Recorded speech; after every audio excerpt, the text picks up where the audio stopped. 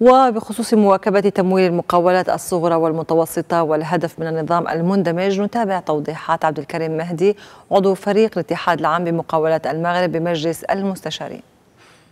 الاتفاقية اللي توقعت أنا صاحب الجلالة آه، تبعا التوصيات اللي جات في الخطاب ديال آه، الدورة الافتتاحية ديال البرلمان واللي آه، ناشدت القطاع الخاص والبنوك باش أنها تحاول دير واحد البرنامج مندمج لدعم ومواكبه التمويل ديال المقاولات الصغرى والمتوسطة والمقاول الذاتي.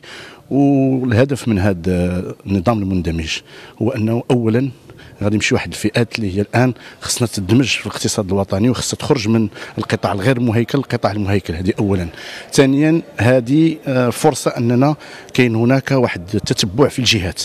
وهذا التتبع في الجهات كيمكن آه، الجهات أنها تولي عندها واحد النسيج من المقاولات الصغيرة والمتوسطة والأهم هي كاين واحد المواكبة على صعيد الجهات والمنظومة في كاملها هي منظومة آه، اللي هي متكاملة لأن كاين تتبع غيكونوا تقارير.